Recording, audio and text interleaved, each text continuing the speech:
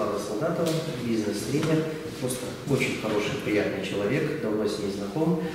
Здравствуйте, Светлана. Здравствуйте, Александр. Спасибо, что согласились к нам прийти. Э, у нас передача посвящена, как вы знаете, начинающим предпринимателям или вообще предпринимателям, которые хотят получить дополнительный опыт. У нас уже достаточно много людей смотрит. Расскажите, пожалуйста, как вы пришли в собственное дело, как вы помогаете предпринимателям, о себе, о своем бизнесе? Э, спасибо за возможность выступить, потому что всегда приятно передавать опыт тем, кто только начинает. Возможно, многие наши ошибки они уже никогда не совершат. Как я пришла в бизнес? Э, интересный вопрос, я часто об этом задумываюсь. Наверное, это было все-таки предопределено. Э, потому что с самого раннего детства мне хотелось заниматься чем-то своим, но постоянно вовлеченность в чужие игры и в чужие дела, вот это свое как бы отставляла. Карьера началась с бухгалтерской должности. Э, честно скажу, продвигалась, но это не приносило никакого удовольствия. Потом меня переманили в консалтинговую компанию. Я с удовольствием работала бизнес-консультантом, правда, недолго. Потому что когда ты видишь, что э, твой труд, его результаты достаются совершенно другим людям, наверное, хочется, чтобы это принадлежало тебе. Ну вот после работы в консалтинговом бизнесе я рискнула и создала собственный проект, тогда еще не было никакой фирмы. Это был просто личный консалтинг, выступала как индивидуальный консультант. Ну, на сегодняшний день опыт больше 20 лет, и на сегодняшний день э, у меня есть как личный бренд, так и есть партнерская компания S&D Group Social Development. Наш девиз э, вот этого текущего периода времени – это мы меняем людей, а люди меняют мир. Mm-hmm. Работаем по принципу обслуживания бизнеса по единому окну. То есть достаточно набрать наш номер телефона или прислать электронную заявку, и наша креативная команда найдет решение любой проблемы, от элементарного помощи в офисе до совершенно нестандартного «придумайте для нас новую бизнес-идею» или «найдите нам идеального сотрудника». А, как обратиться, сразу же вопрос? Сайт, ресурс? Э, есть. Э, куда, что бежать? Естественно, есть э, у нас веб-сайт sit-group.biz. Есть возможность позвонить нам по телефону, есть возможность найти доступ к, каждой социальной сети, то есть можно найти легко страничку и, естественно, через прямой сайт или обращение на странице или телефон позвонить нам и задать свои вопросы. Очень часто нам звонят с вопросом таким, который не требует сильного нашего участия, то есть тот, кто консультирует этот момент по телефону, он просто дает ответ, и предприниматель счастлив.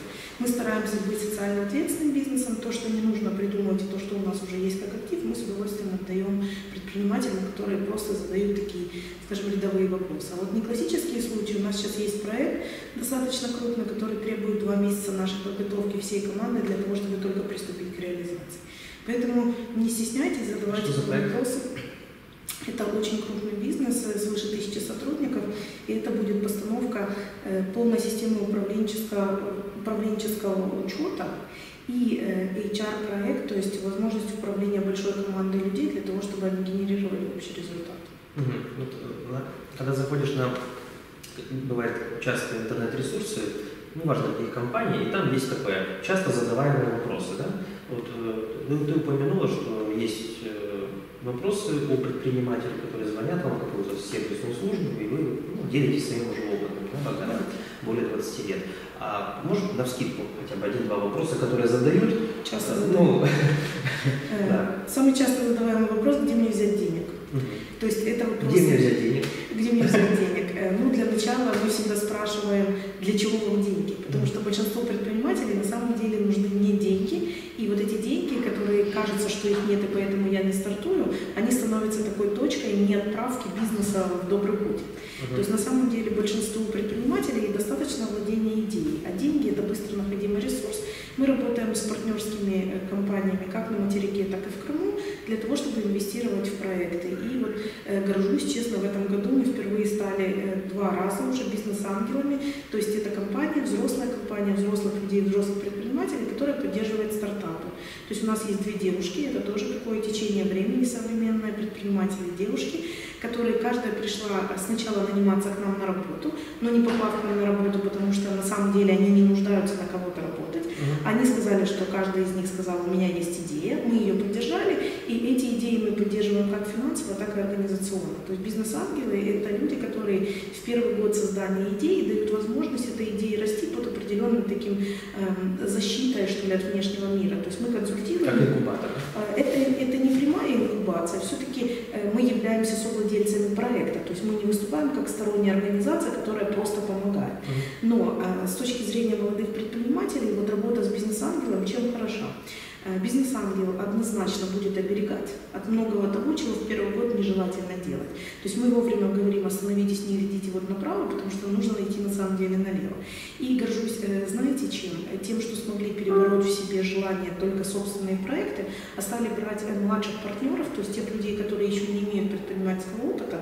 У меня в компании есть бизнес-партнер, то есть мы вместе, совокупно наш опыт больше 30 лет ведения бизнеса на двоих, вот, но мы все-таки над собой сделали определенные усилия и перестали быть такими единоличными владельцами всего, что делает наша компания. То есть стали приглашать с удовольствием младших партнеров. Это предприниматели, которые вот э, горят, но еще не умеют как. И заниматься ими это требует очень большого количества времени, ну, естественно, финансовых вложений, но на самом деле отдача от таких проектов она максимальная.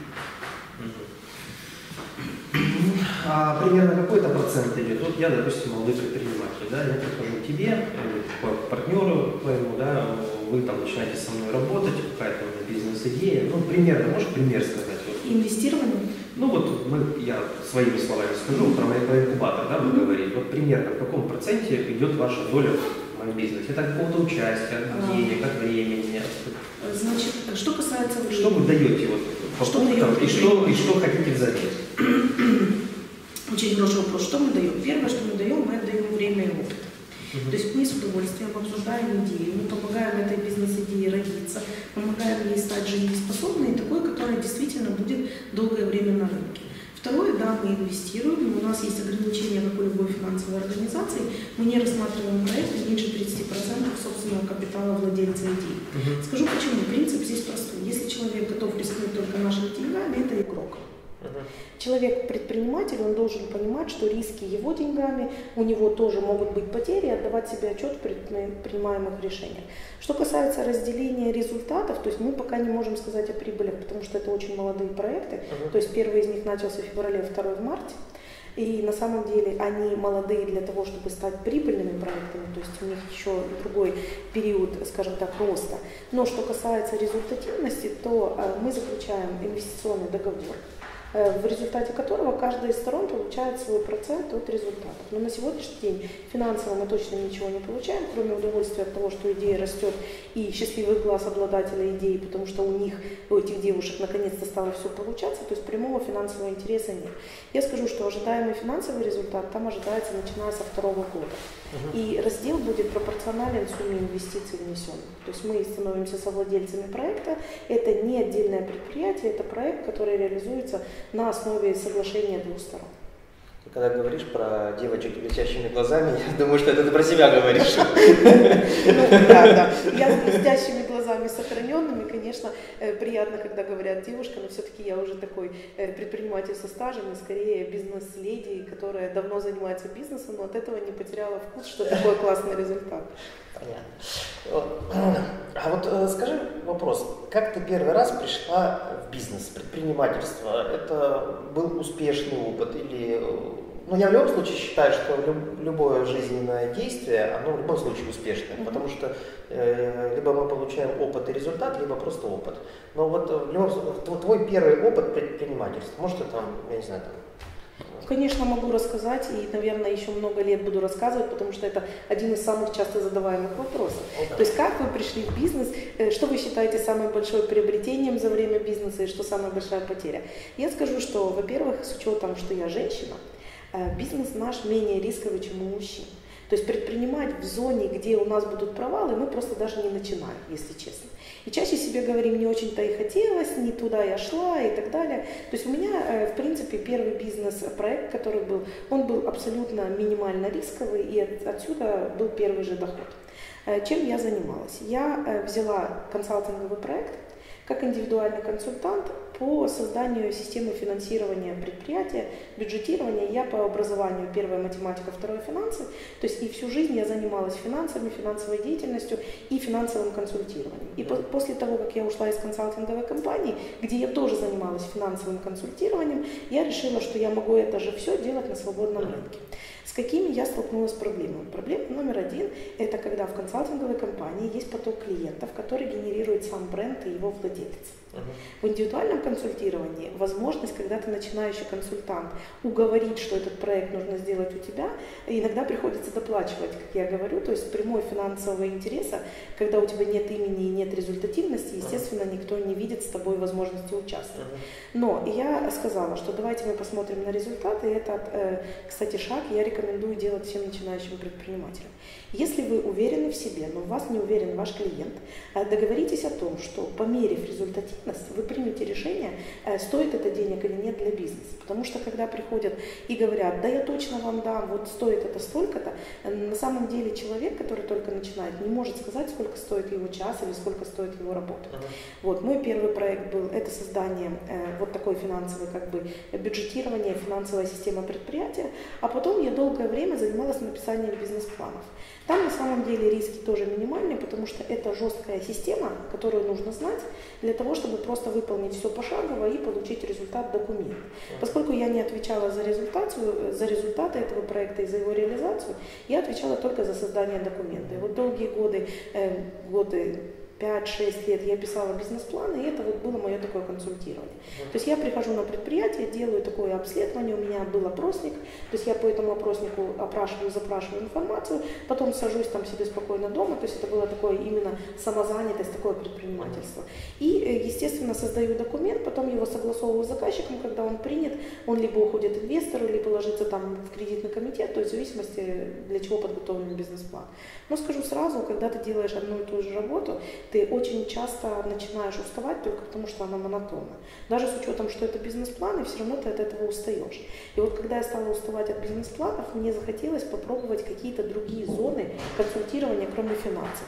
Вы, наверное, удивитесь, но сейчас я в зоне финансового консультирования, в принципе, это скорее редкость. То есть я делаю маркетинг-проекты и HR-проекты.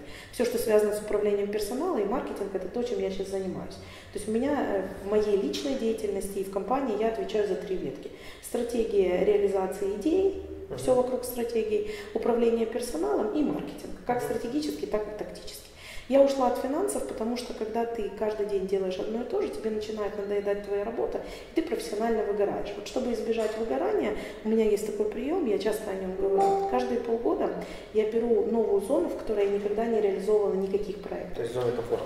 Да? Обязательно. И начинаю изучать новое для того, чтобы попытаться когда-то, спустя энное количество времени, там сделать для кого-то проект. Ну, пока что изучаю сама.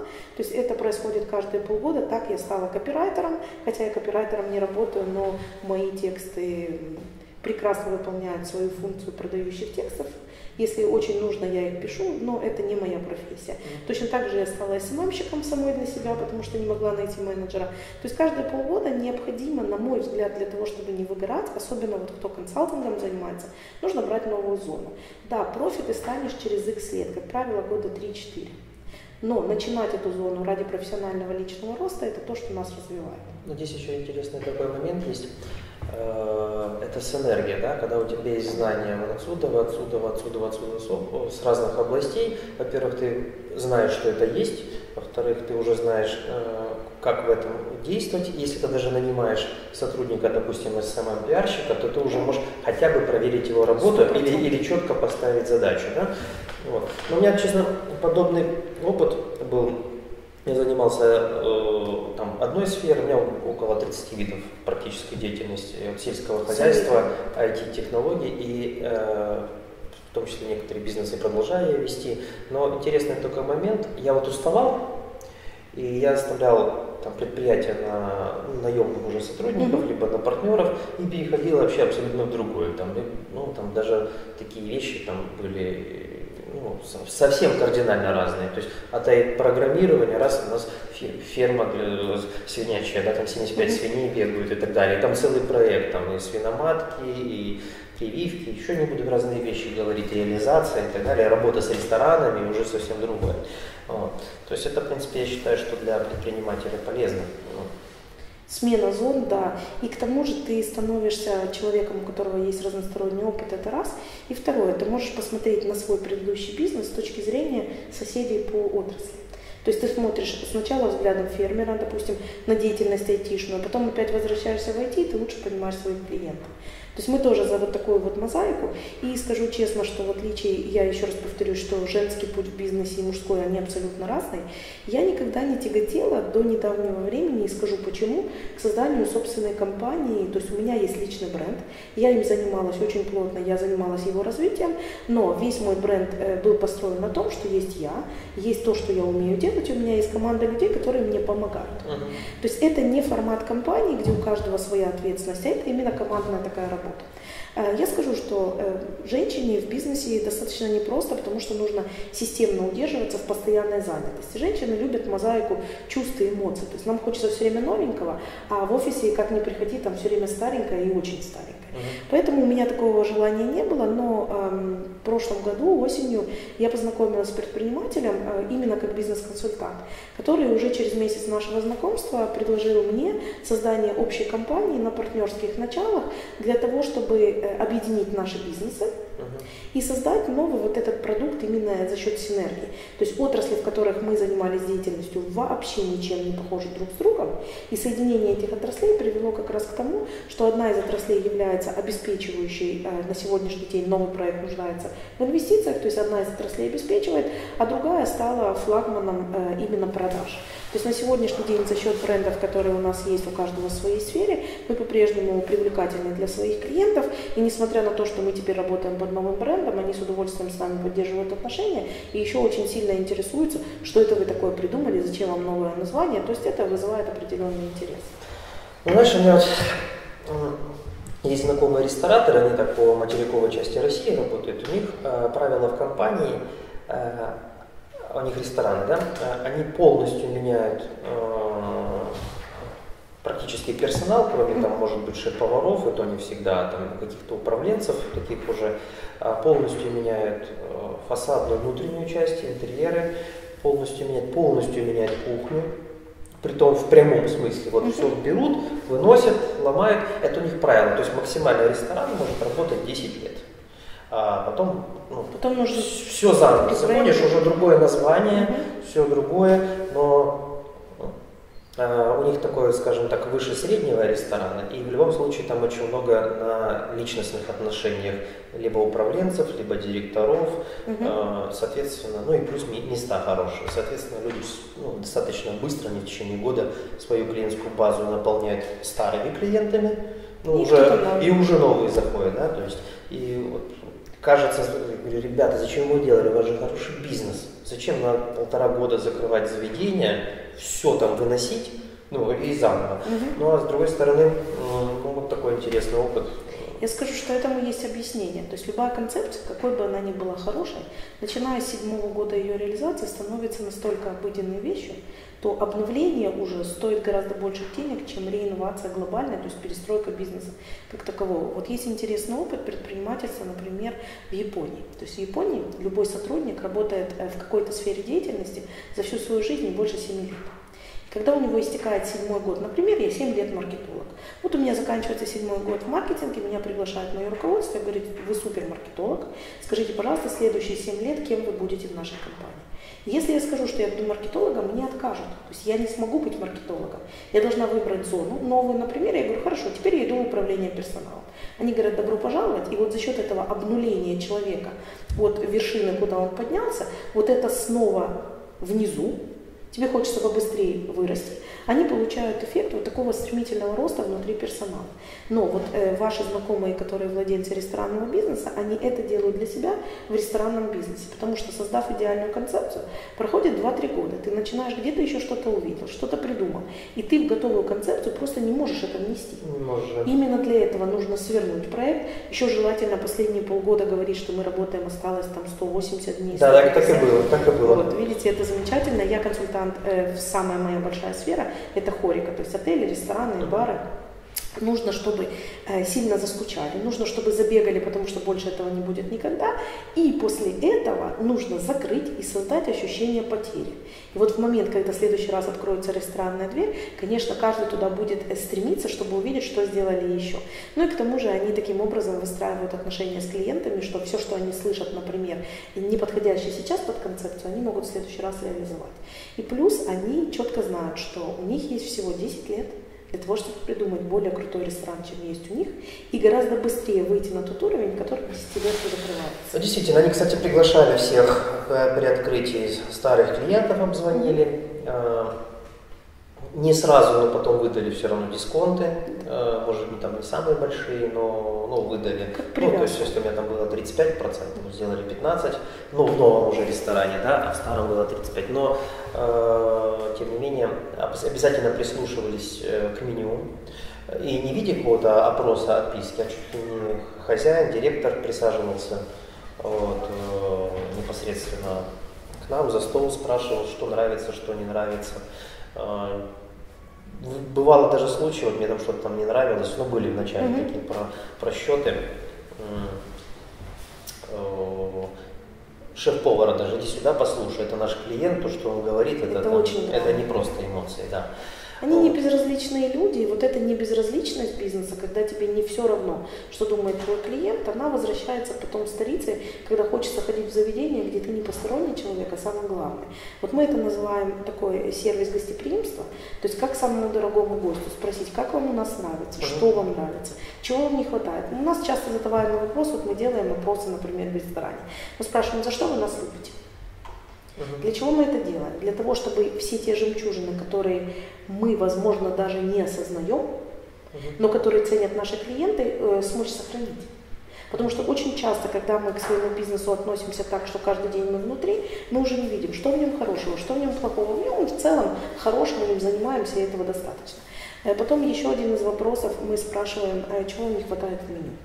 То есть иногда получается такой совет, который никогда ни один бизнес-консультант придумать не может. Э, человек говорит, я был там-то, там-то, путешествовал в Италии, вот знаете, у них есть такая-то фишка.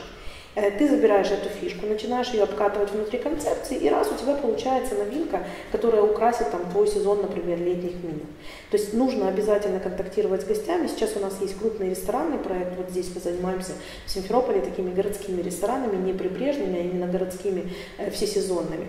Э, мы тоже сейчас, кроме обновленного меню, на этим больше занимается, это все-таки поварская задача, мы сейчас вот подтачиваем концепцию, потому что уже многократно все были в этих ресторанах, все их прекрасно знают, что-то такая новизна, чтобы опять захотелось возвращаться, возвращаться и возвращаться. Интересно. А скажи, пожалуйста, так, на вскидочку, там, может, 3-4 компании, кто ваши клиенты? Ой, я не скажу, честно. Понятно. Даже не произнесу. Я скажу почему, потому что... Э, ну тогда, да, не важно. Нет, скажу Все. почему не скажу. Не важно. А я не хочу слушать. Нет, потому что коммерческие тайны и э, вот это консалтинговая особенность. Я скажу так, что большинство компаний не хотят, чтобы знали, что мы ими занимались. Знаете почему? Приятно вырасти самому. И поэтому бизнес-консультанту достаются и консалтинговым компаниям деньги, а лавры победителя достаются все-таки нашему клиенту. Но скажу об одном проекте. У меня есть письменное согласие владельцев этого проекта для того, чтобы я могла рассказывать и показывать именно, чем мы занимаемся. Э, в Крыму есть э, такой курорт, называется Golden Resort, он находится в Алуште. Угу. Он назывался когда-то «Золотой колос», и вот этот процесс постановки системы гостеприимства и обучения персонала – это годовой проект, в котором мы принимали участие самое активное, и благодаря тому, что эта система поддерживается под сегодняшний день, э, в топ-3 входит э, Golden всех крымских отелей именно такого семейного направления по оценкам TripAdvisor и на сайтах для путешественников. То есть чем мы занимались? Мы начали обучение с самого верха, то есть это были руководители. Как только обучились руководители, стали обучать их специалистов и заниматься постоянно на тренинговой основе, плюс прописанные стандарты, э, что такое гостеприимно встречать э, туристов, что такое обслуживать на уровне 21 века именно в гостиничном хозяйстве, в ресторанном комплексе, как взаимодействовать, как продавать, как отвечать по телефону. То есть, э, что должна делать горничная, почему нужно здороваться, как нужно убирать номер, чтобы это было гостеприимно, а не просто чисто и тому подобные вещи. То есть это получается вся система менеджмента предприятия. Бальзам, ну, это, я просто, ну, есть накипевшие вопросы. Да? вот, да.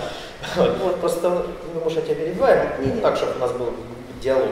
А, я просто вот э, много где путешествовал, вообще считаю, что путешествие ну, входит, наверное, в тройку лучших инвестиций. То есть, да. если не знаешь, куда инвестировать, путешествуй. Вот. Либо открывай новые бизнесы. Да. вот. Но тут вопрос такой, что вот я где сталкивался, ну даже в тьму таракани какого-нибудь там Египте, или там непонятной там Турции, настолько классный сервис, что тебе, ну знаешь, как вот все улыбаются, все рады. Э, неважно, даже искренне это делают или нет, хотя искренность это важна, безусловно, но они делают все правильно, все четко, четко делают. Вот в Крыму реально с этим была проблема. Но вот я последние годы могу сказать, что э, эта ситуация достаточно выровнялась, выравнивается. Да. Еще в маленьких отелях это не всегда, вот, а вот уже крупные отели, когда уже заходят, но я недавно отдыхал, ну, как это там, в Ласпе, по-моему, да, в Ласпе. Угу. Вот, отель там очень крупный есть, то есть у них там 5 бассейнов на улице, внутри, спа-центры, все. Но э, настолько серьезно, серьезного уровня э, персонал, вот, вот с самого начала, там, от парковщика, охранника, который тебя запускает на территорию, там, и заканчивая вот, там, менеджерами, кухней, сервисом, ну, вот, честно, ходишь, и вот как в раю. И, Это очень важно. И самое главное, вне сезон, вне сезон, вне сезон у них, в принципе, для крымчан достаточно дорогие цены, а вне сезон, ну, мы там за выходные платили за двоих завтраками, притом с очень серьезными завтраками, что даже ну, не все просто не съешь, или с фуршетами, ну, прям действительно хорошо. Не так, что там две колбаски порезали там каких-нибудь вареных, а вот все со спа-центрами, с кортами, с тренажерами, с бассейнами, там всякими еще мероприятиями небольшими. Ну, что-то, по-моему, сутки мы платили в районе около двух-двух с половиной тысяч рублей. Это отлично. За двоих, да? То есть, угу. И с хорошим номером примерно по 60 с лишним квадратов, то есть с большими потолками. Ну, то есть есть у нас такой сервис, кстати, крымчанам рекомендую вот, э, отдыхать с семьей достаточно.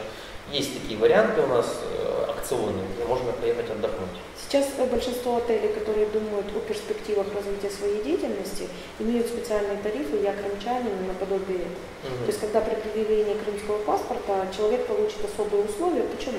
Потому что это фактически его дом, но только отнесенный там на 40-80 километров. Я тоже рекомендую и сама с удовольствием пользуюсь в межсезонье посещение тех отелей, которые в сезон просто ориентированы на совершенно другую целевую аудиторию. То есть можно прекрасно провести три дня, отдохнуть так, что кажется, что вернулся из отпуска. И что касается сервиса гостеприимства, надо сказать, что, например, когда это некий сетевой отель, uh-huh. то там вот это наследование сервиса, это происходит очень просто. В материнском отеле происходит обучение, все проходят стажировку и переезжают открывающие команды на новое место. Но у меня есть даже такой хэштег, его многие знают, кто меня слушает, читает, пишется в одно слово, как положено, Крым не стелит. Что это такое? Это значит, что в Крыму почему-то считается, что работа в сервисе это какая-то такая низкоквалификационная, что ли, работа. Я не согласен. А, я абсолютно с этим не согласна, и я как раз борец против этого. Сервисная работа – это одна из самых высококвалифицированных работ, потому что ты имеешь прямое касание с самым драгоценным душой человека. Э, какой в номере матрас – это очень важно. Но любой матрас может э, прекрасно обволакивать сервис того отеля, куда приезжаешь. И все шероховатости, связанные с питанием, кому-то не хватило парковки, где-то далеко находится море, поправляются прекрасно за счет сервиса. Я вот часто говорю такую фразу, что у вас может быть отель на две звезды, но если у вас будет пятизвездочный сервис, к вам будут стремиться как в пятизвездочный отель. То есть, несмотря на материально-техническую базу, многие говорят, вот, хорошо повезло этому отелю, тому отелю повезло. Всем повезло. Потому что у всех работают люди, которые могут дать вот этот сервис, ощущение гостеприимства, и тогда будут возвращаться. Очень многие крымские отели не понимают, что возвращаются, да, на море, но на море в конкретном кусочке территории, где работают конкретные люди. Вот, кстати, такой вопрос. Вернемся к туризму. Туризму есть вопросы по туризму еще. Из зоны комфорта тебе можно? Вот, допустим, у тебя нет возможности отказаться, тебе нужно открыть, так тебе захотелось, кстати, тебе э, новый вид бизнеса, ну, скажем так, э, ремонт автомобилей. Вот. Давай. Семь пунктов есть у тебя? Что, что, делать? что делать? Да. Что делать? Что ты будешь делать? А, первое, что я буду делать, я сяду за руль автомобиля и поеду посмотрю, где и кто и как организует подобную работу в том городе, где я планирую открываться. То есть, например, это будет Симферополь. Я посвящу нужное количество времени, где-то, может быть, мне хватит недели, кому-то больше, кому-то меньше, для того, чтобы посмотреть, какие вообще сервисы технического обслуживания автомобилей существуют. Угу. После этого я разделюсь на две группы. Те, кто мне никогда не будет конкурентом, потому что либо мельче, либо солидней, то есть если это официальные сервисы, и все остальные, кто будут моими конкурентами. Потом я повторно прокачусь по конкурентам с целью выявить, это второй шаг, две такие, две модели нужны. Первое, что они делают просто супер, мне хочется повторить у себя, и где у них грабли. Возможно, попробую где-то обслужить свою машину, чтобы почувствовать, э, как они это делают, то есть внутренний сервис. Но это надо будет смотреть конкретно, у кого захочется вообще доверить свой автомобиль. После этого я возьму листик, может быть два, не больше, и напишу план действий. То есть первое, мне нужно будет подобрать территорию, где это будет осуществляться. При этом ключевыми пунктами будет э, не стоимость этого ресурса, а удобство для моей целевой аудитории подъезда к тому месту, где я буду осуществлять свое обслуживание, а также наличие парковки. Второй момент. Я задамся вопросом, будет ли у меня доп-сервис. То есть, например, буду ли я открываться вместе с мойкой или я буду открываться только СТО. Если я буду открываться вместе с мойкой, будет ли у меня там экспресс-маникюр для девушек или что-то у меня будет, то есть подумаю над дополнительными услугами, потому что продавая базовый продукт, к сожалению, уходит очень много времени, чтобы построить его доходность, а вот за счет доп. услуг я могу набирать, добирать эту доходность и достаточно быстро выровняться и выйти на такую, скажем, окупаемость. Если я не зарегистрирована как субъект хозяйствования, следующим шагом я отправляюсь в налоговую инспекцию, естественно, становлюсь предпринимателем. Я вообще не рекомендую, честно скажу, и сама такая не рекомендую себе тоже заниматься предпринимательством без официальной регистрации, без выбора системы налогообложения и работать, как говорится, на карман. Во-первых, это очень дорого, а во-вторых, это очень опасно, то есть большая ответственность. Следующее, чем я займусь, параллельно, возможно, с регистрацией, я буду присматривать персонал. А буду ли я кого-то перекупать, все будет зависеть, с кем я хочу конкурировать. Если я хочу кого-то выбить с рынка, то первое, что я постараюсь сделать, это где-то там 30% персонала аккуратненько увести к себе в компанию, и тот бизнес обвалится самостоятельно. Ну, это кто что любит в конкурентной борьбе. На самом деле, хедхантинг, то есть перекупка персонала, это один из центральных инструментов быстрого результата в конкурентной борьбе. Следующее, что я сделаю, проведу собеседование, кого-то возьму на работу, к этому моменту получу документы, заключу договор аренды на земельный участок или куплю, смотря что я буду делать. Потом построю, э, если нет технического помещения, куплю оборудование и параллельно с заключенным договором на землю сделаю хороший промо в интернет для того, чтобы начинать вызывать интерес к тому, чем буду заниматься и привлекать клиентов. А потом перережу ленточку, выпью чай и займусь работой по 18 часов в сутки. Понятно. А учиться автомобильному делу будешь? А, нет. Честно скажу, я управляю автомобилем, у меня большой опыт, но э, это не позволяет мне технически ремонтировать автомобиль. Но я скажу, что мой управленческий опыт в других сферах деятельности абсолютно мне позволяет сейчас управлять любым видом деятельности, не имея специального образования. Управленец выше, чем э, специалист, потому что у управленца есть возможность консультации со специалистом и получения дополнительных знаний. Когда-то я говорила, что я не буду работать со строительной компанией, потому что я ничего не понимаю в стройке. И вот первый же большой проект, который был у меня в консалтинге именно в сфере строительства, существенно поднял меня на новый уровень понимания, что такое инженерия в строительстве, кто такие инженеры-строители, чем они вообще занимаются. Так что я буду набираться знаний по мере контакта со своими же специалистами, учиться буду. Ну, мне показалось, что на раз, два, три, четыре, пять, шесть, семь ты прям... Так я это регулярно делаю, это из прям опыта. видно профессионал, видно профессионал. Вот. Э, скажи такой вопрос. Э, так, что э, вот туризм юрисдикции Украины, туризм, ну, просто на эту тему много говорил, я так понимаю, туризм и юрисдикции Российской Федерации, а туризм у нас является приоритетным, угу. одним из приоритетных источников дохода э, и для развития региона. федерального для нашего региона, для полуострова Крыма. В чем отличие, опять-таки, вот, что хорошо, что не очень хорошо? Именно для туризма. Если брать организационные моменты, то в принципе в российском юридическом поле все ситуации более зарегулированы, то есть закон действует, он жестче, и его соблюдение требует определенной аккуратности и последовательности шагов. Э, в украинской юрисдикции было много таких петелек, через которые можно было выскальзывать между разными законами. Здесь сбалансированное право, и я рекомендую всем своим клиентам и тем, кто нас слушает, тем, кто нас смотрит, не совершать центральные ошибки не пытаться обойти закон, потому что штрафы в российской юрисдикции гораздо выше, чем при Украине, они в десятки раз выше. Это, кстати, я, за большие штрафы. Я за большие штрафы, потому что появляется ответственность не совершать определенных поступков, потому что они тебе просто не по карману. И если тот же визит пожарной э, безопасность пожарная, которую контролирует МЧС, может обойтись в штраф от 500 тысяч рублей, то, наверное, хочется обеспечить пожарную безопасность так, чтобы штраф тебе не грозил. С другой стороны, вот если взять те же проверяющие органы, то при Украине нужно было обязательно принести акт с каким-нибудь изъяном для того, чтобы был штраф.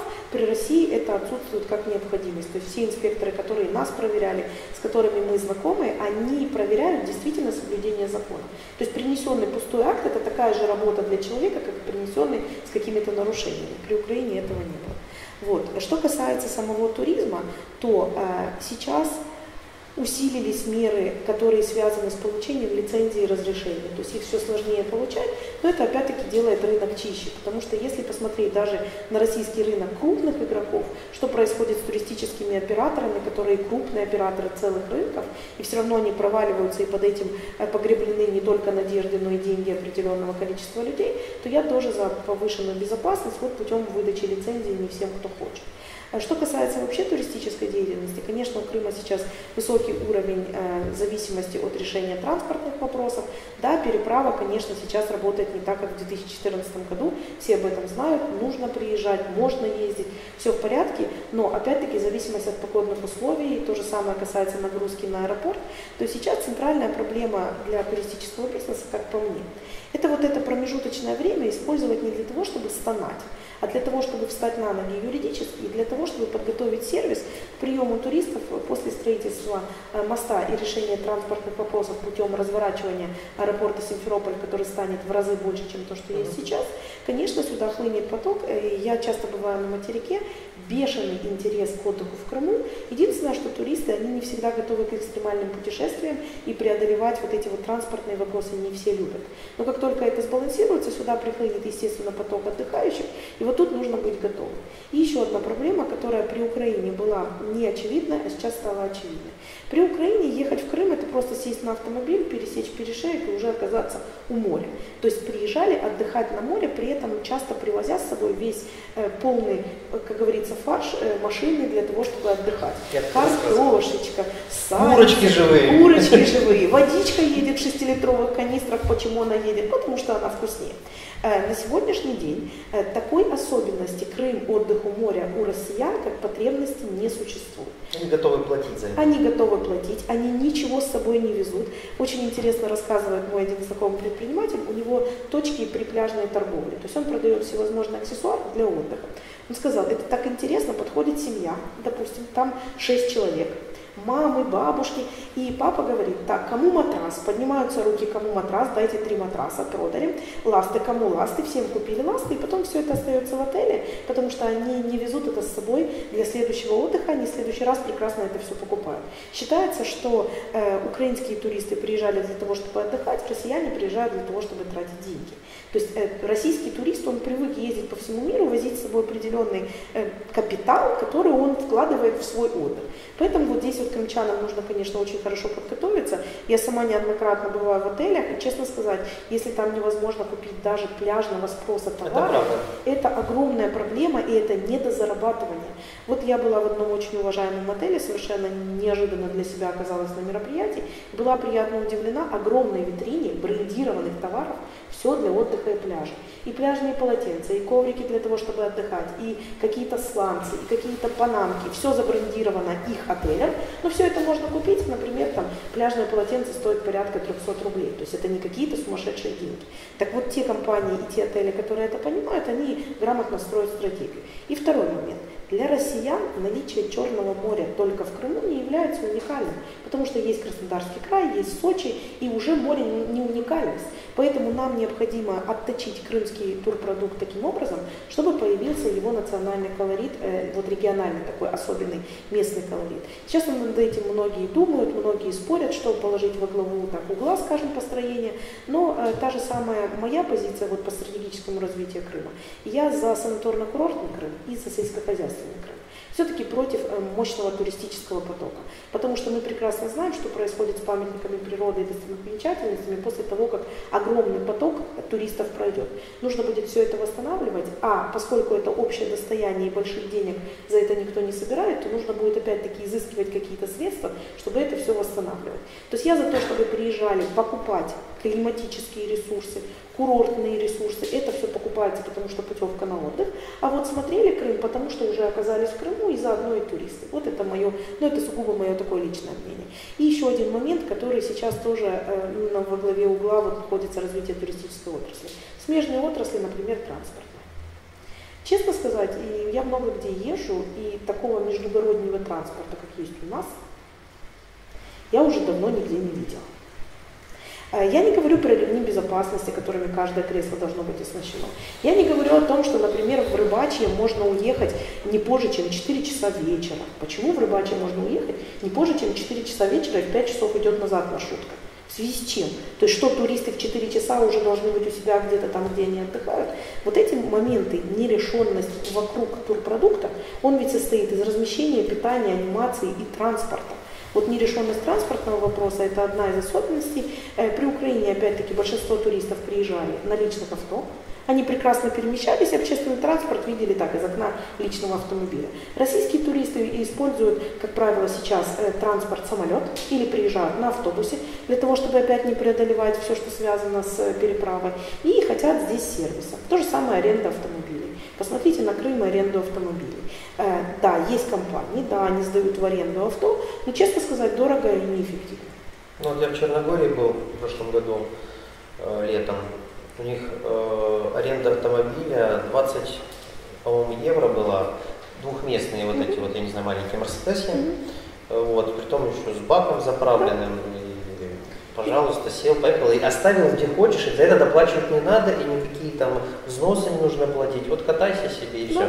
Ну, даже те же, пусть даже по максимуму 25 евро, это сколько сейчас у нас там курс, я даже не знаю уже привыкли к рублю, ну, наверное, около 70-80 да. где-то, наверное, да? Пусть даже если 80, ну, даже 80, это ну, абсолютно... 1600, ну, пусть 1600, там, ну, 2000 рублей, да, то у нас 2000 рублей, наверное, в сутки, но там куча... Куча, а, куча формальностей, и э, там есть да, масса препонов таких юридических, и неудобства, то, что нет везде оборудованных стоянок для того, чтобы как оставлять свое авто, так и брать следующее вариант. А, и, кстати, это я просто видел на острове, там, остров, остров Святого Стефана, mm-hmm. и вот там, ну, там кафешечки такие, вот, и там просто машины стояли. То есть это в самом центре, там, в очень дорогом месте. То есть если бы я где-то там искал в интернете, то я думаю, что это цена был, прайс был раза в два ниже. То есть это я просто вот видел на машине. Сел и поехал. Да, сел это очень удобно. У нас, э, к сожалению, э, большинство предпринимателей стараются сделать то, что уже сделал сосед. Это вот такая наша крымская ментальная особенность. То есть вот у моего соседа парикмахерская. Вот у него все хорошо, он хорошо зарабатывает, надо мне открывать парикмахерскую. То есть никто не думает о том, что каждый новый игрок на рынке, на этом же рынке, он на самом деле сразу убивает всех тех, кто там уже давно, по крайней мере, в коротком периоде. Но так у нас не думают. И вместо того, чтобы открывать те бизнесы, которых у нас остро не хватает, посмотрев, что есть в мировом масштабе. У соседей только за границей. Да, подальше чуть-чуть. Соседи Или в нашем прошлом. Да. То есть желательно глянуть, чего не хватает. А вместо того, чтобы открывать то, что и так э, ну, на каждом шагу. То же самое магазины у дома, то есть продукты у дома. Ну, я не знаю, вот у меня есть у дома один магазин, который каждые 6 месяцев сверху клеится аренда. Все, давай о хорошем. Понятно. Так, смотри, а, о хорошем это значит, будешь ты говорить. Ага. А, значит, э, по ту сторону экрана начинающий предприниматель, либо уже действующий предприниматель, э, посоветуюсь с точки зрения своего опыта, богатого опыта, интересного опыта, ну вот изюмин, ну, то, что у тебя вот сейчас прям на душе. А, уважаемые предприниматели, самая главная ваша задача это найти нужную вам зону риска, потому что риск и доходность это одна медаль с двух сторон. Не бояться рисковать, особенно девушки сейчас, если они меня слушают, нужно обязательно рисковать капиталом, не собой, не своей идеей, а капиталом для того, чтобы дело пошло и были заработки. Второй момент. Постарайтесь стать уникальным. Уникальным на нашем крымском рынке этого вполне достаточно. Не нужно изобретать какой-то мировой велосипед, потому что пока мировой велосипед э, раскачается на все мировое пространство, к сожалению, проходят годы, и большинство таких изобретателей, они уже будут признаны после их смерти, потому что просто жизнь закончится. То есть достаточно быть уникальным в рамках региона, и э, мой совет такой, я сейчас его часто говорю – Э, нужно понимать, что мир сейчас полон глобализации. Против ты или за, глобализация просто идет. Поэтому необходимо внедрять ту идею, с которой ты хочешь развиваться и продвигаться. То есть нельзя брать проекты тупиковые, которые можно реализовать только вот здесь. То есть он должен быть такой, чтобы он был, как я говорю, на вырост. То есть если проект может вырасти и может развиваться, то тогда будущее этого предпринимателя предопределено. Через некоторое время он, как вы, найдет управленческую команду, оставит на управленческую команду свой бизнес, а сам либо сделает новый проект, либо уедет путешествовать. У нас в гостях в ассоциации была Светлана Солдатова. Спасибо. Спасибо за приглашение.